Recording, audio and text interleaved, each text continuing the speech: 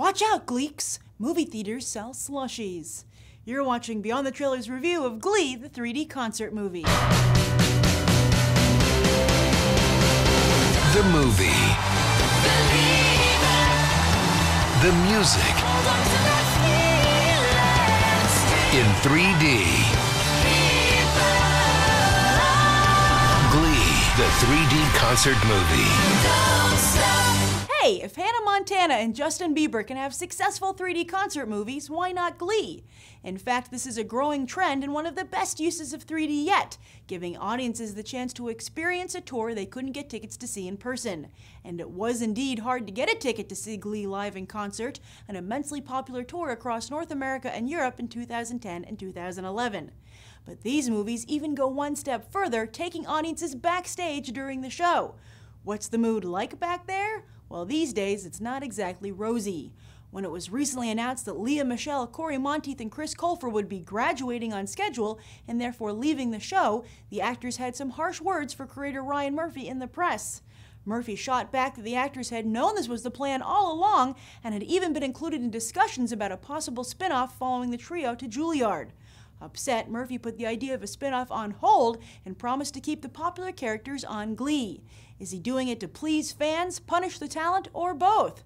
Who knows, but another actor who will be sitting on the bench is Jane Lynch. Sue Sylvester does not appear in the 3D movie despite her taped appearances in the live concert. She will, however, appear on the DVD version. So, will audiences head to the Cineplex to watch what they can see at home for free? Although, the third season doesn't start until September 20th. How does Glee hold up on the big screen? It was pretty cool. I liked it. Yeah? Yeah, it was really fun. How was the movie?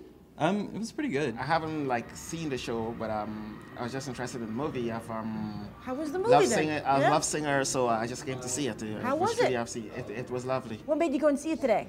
Uh, I've been waiting for a long time to see it. So yeah. Yeah, yeah. Are you a big fan of the show? Yeah, I like it a lot. Yeah, I mean, I, I watched the show. I don't know if I would say I'm a gleek per se. Oh, okay, there's a lot of us. I watch it occasionally too, right? Yeah. what was your favorite song that they sang in the film?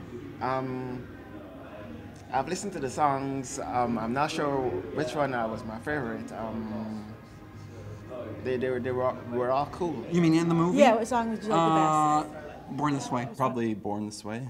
Oh, oh, great! yeah. Yeah, someone else said that too. That's yeah. really interesting. I like yeah. the songs that made me, or reminded me of the show, I guess. Like the, Oh. the storylines in the show. Like going backstage, did you get a good feel for the characters? Yeah, that was cool. Yeah, yeah, Yeah. that was cool. I like the fact that they kept the like characters of the show. Like it wasn't like it was Rachel and it wasn't like you know the name of the actress. That was fun. Oh, really? Oh, they were in character backstage Yeah, and stuff. yeah, yeah, yeah. It was pretty interesting, yeah. I guess there's a lot of good messages for young people, for, you know, people that don't really fit in. I feel like the show's given them, you know, a reason to, um, you know, just take pride in themselves. Is it worth? Is Glee uh, the 3D concert worth seeing in theaters? Absolutely. Yeah. Oh. Yeah, yeah, you're gonna have fun. What do you give it on a one to ten?